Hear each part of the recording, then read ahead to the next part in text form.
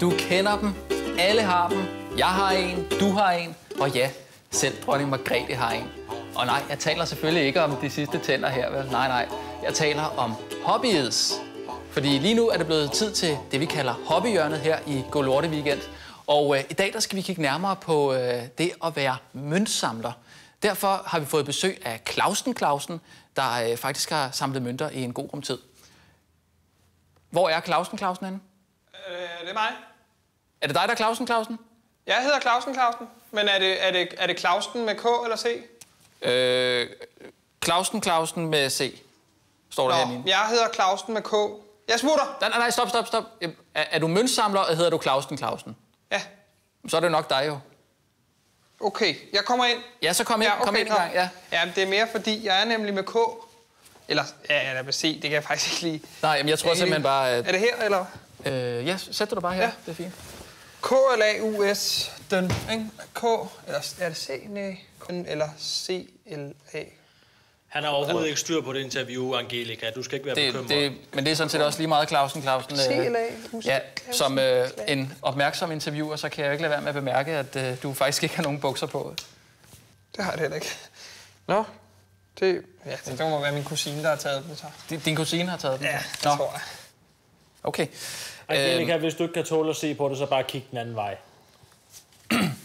Øh, nu skal det ikke handle om dine bukser. Øh, det, skal, det skal handle om din møntsamling. Og øh, Clausen Clausen, du er jo møntsamler af Guds nåde, må Ja, man nok ja, sige. det er. Ja. Ja. Øhm, har du øh, taget din samling med her? Ja, så det vi kan har se? jeg. Den er her, ikke? Sådan en der. Der er en mønt der i hvert fald, ja. Sådan Ej, en jeg sjovere tror, han havde regnet med, at der var flere mønter, Angelica. Han har kun én mønt. Ja, det er jo lidt et unikum, det der, fordi jeg har kun en af dem. Ja, Og øh, som du kan se inde i midten, så er der hul i der, ikke? ja. Dårlig tv. Har, har du andre mønter? Ja. Du skal se dem alle sammen. Ja, det vil være meget rart. Okay, ja, det er fordi, ja, vi, du er møntsamler jo. Jeg tænkte... Øh, Jeg troede ikke, vi kunne nå dem alle sammen. jo, jo, jo, jo. jo. Ej, jeg, jeg troede lige, at Clausen Clausen kun havde taget den her ene mønt med. Det ville jo være... Jamen, så kommer det her, ikke? Nå, det ligner lidt mere. Så lægger vi den her 2011-mønt her.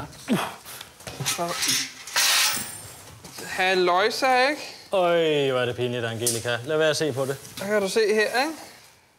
Den der, den er lidt sjov, den her, ikke? Men jeg er Ja, ikke helt det er jo sådan en kastanje, det her. Og det her, det er en knap. Det er en kastanje? Det er frygteligt at se Okay, på. jeg var lidt i tvivl, nemlig. Her, det Dårlig også meget- TV. Ja, to sekunder, Clausen Clausen. Ja. Steve? Mm-hmm. Vil du være sød lige at komme herover en gang? Vil du, vil du ikke lige være sød at komme herover en gang? Sid ned, Steve. Hvad så? Ja, så tror jeg godt, jeg vil udbyde mig en forklaring på, hvorfor du sidder og ødelægger mit interview her. Hvorfor det interview? Ja, det interview, jeg sidder her og laver med møntsamler Clausen Clausen. Kan du det interview? Ja, det.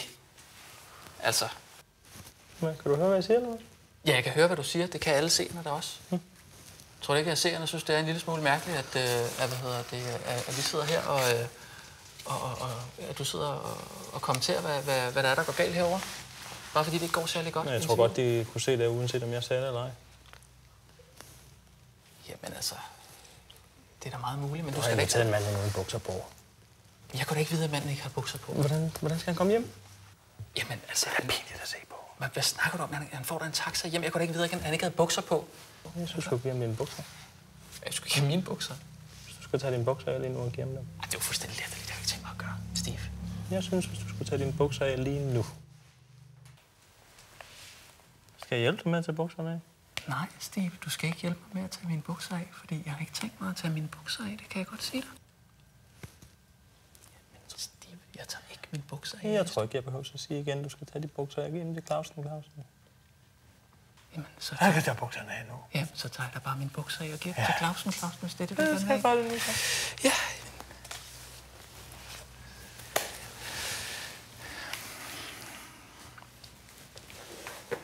Tager jeg mine bukser af og giver dem til Clausen, Clausen? Så, få nogle mine bukser.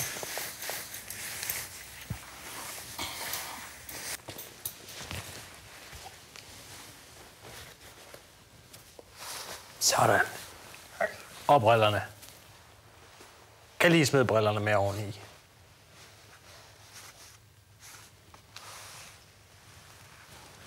Åh oh, ja, det kan jeg godt se, den kan se. Ikke så meget til sandfarvet dog.